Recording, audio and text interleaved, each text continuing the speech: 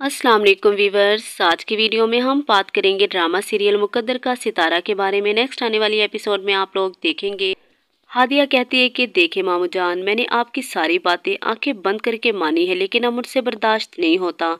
सब कुछ आपके सामने होता है ना कि आपकी फैमिली में से कोई भी मुझे जलील करने में कोई भी कसर बाकी नहीं रखता।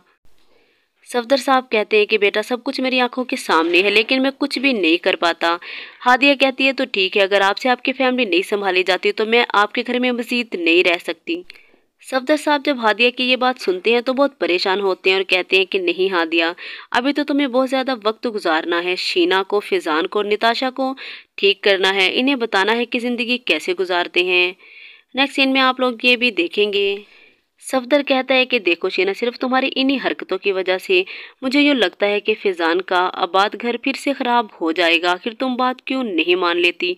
तुम क्यों बार बार हादिया को जलील करती हो? शीना कहती है तो क्या इसकी फैमिली को शर्म नहीं आती? अच्छे अच्छे खासे हम लोग खुश थे, निताशा के रिश्ते के लिए हमारी सारी खुशी ख़त्म कर दी। तो सब